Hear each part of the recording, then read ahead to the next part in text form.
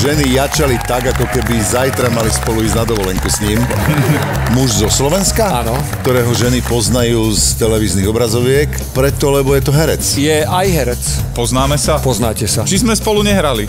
S tebou? Hej. Hral. I, aha. No, no a teraz buď múdry, no. A teraz? A? Dobre. Inkognito. V pondelok o 20.35 na Jojke.